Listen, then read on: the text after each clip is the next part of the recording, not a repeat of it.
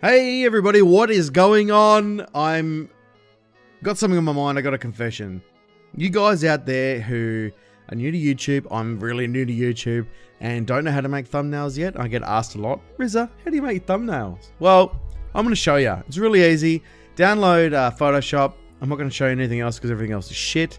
Um, it's really cheap. You can subscribe. I think it's like 13 bucks Australian or 16 bucks Australian um, a month. Um, but you get a lot of use out of it. All your videos you get to use it for.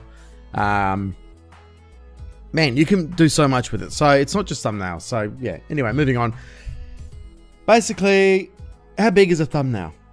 Let's have a look. So just with a simple YouTube uh, search. So we're going to go uh, YouTube thumbnail size. To stick with my own search. So it's 1280 by 720 with a minimum of 640 pixel width. So open up your Photoshop, which you've previously downloaded because you totally paused the video and fucking downloaded it when I told you to. Otherwise, it's to be really confusing. Um, so we're to open up Photoshop.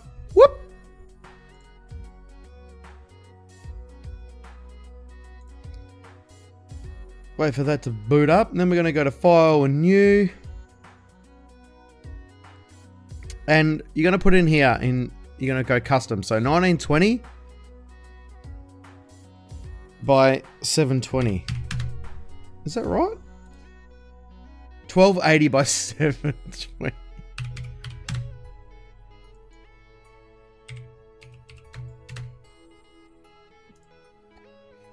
And then we have it. Um, your base for the, your Picasso of thumbnails. Now, you really have to decide sort of what you want to do. You got to go with the theme. It can't be too misleading because people won't follow you or they won't want to watch it and they'll get shitty. Like, well, what is this? This is nothing to do with this. And where? Unlike. So, let's just say you're building a water-based design, right? And you want to give everybody a video on water-based designs because there's not enough already, you know. Um, so what are you going to do? You need a background. You just start with a background. So let's go to Google, right? Um, let's look up blue backgrounds. Blue is the color of water, usually, unless it's shit water. And go to images. Uh, so you got all these different options. You don't want to go with anything that's too bold. You want something light, something you can sort of edit. Um, something like this. So we click on that, copy that image, and paste that, control V that shit into Photoshop and voila, you have a background, right? It Looks like water, we're on the right track. So what are we gonna do? We need text. So with your text box over here, you click that and then click on your face and your little flashing text box opens up. Let's write, um, crazy, oh, fucking spelling, crazy water base design. Right. Fucking crazy. White on blue is always good, white on dark colors, but it doesn't really stand out. So what you want to do is, what I like to do, and a lot, you'll see in a lot of my videos, right click on over here on your layers, um, click on your text, right click, blending options, then click on stroke and tick it, and click the box. So what it's done now is it's put an outline on it, but it's white. So we'll change it across to black. And as you can see, it's now got a black outline, which is adjustable from here. So get it to where you want it. Um, there's a couple of other options. I don't really bother with them too much. And you want to line that up pretty well. Now, you could just do that across the whole thing. It would look pretty amateur, even though I'm pretty amateur. Like, anyway. Um, but what you want to do is add, make it pop a little bit more. So people, when they're searching on there, they know that it's for Rust. And that's their game. And it's not some random misleading video. So we want the Rust logo. You're going to find it all over the show. I like using the official one here. Um, when you click on it, you got the PNG, which means with see these little checkers uh, behind the logo, you can save that and put that across your, and it won't have a background into Photoshop. Uh, if you know what I mean, I'll show you in a second. So we're going to save that.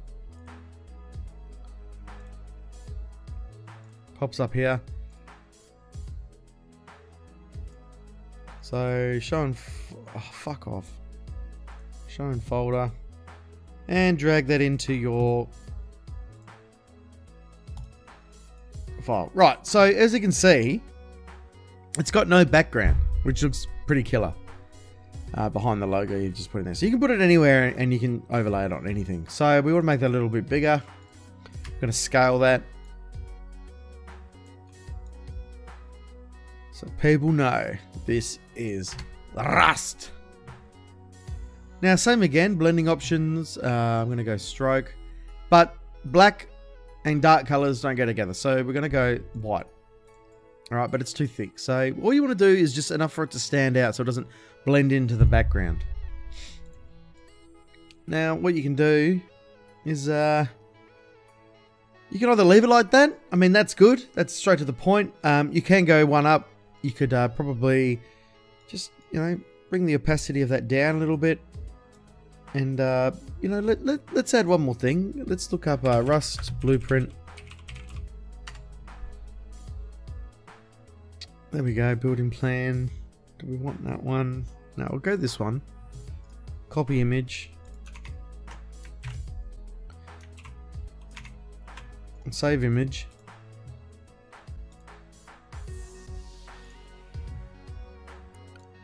And you want to drag that into your there. You want to scale it. Now scale it holding shift. Alright, I'm going to scale it up first before I tell you why. If you don't, hang on, let me just move this to the top. If you don't, and you want to transform the scale, hold shift, you can go like this. And it's fucked because you lose the whole perspective, especially when you're using high quality images, people, shit like that, that look all fucked up. So, you want to get it about right, and if you hold shift, now see how it just holds it square? You're never going to go wrong. So, what we're going to do is we're going to pop that to the right side there. We're going to transform, scale, done. So transform, uh, rotate. There we go. So hit enter. Um, now where are we gonna go? Gonna move Rust across a bit. We're just gonna rescale Rust so we can fit it all in.